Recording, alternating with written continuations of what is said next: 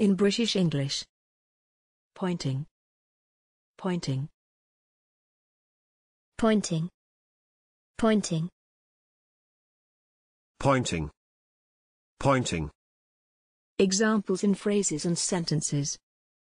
The pointing and grouting of masonry and brick. The old pointing must be dug out as deep as possible. Thanks for watching this video. Please don't forget to subscribe.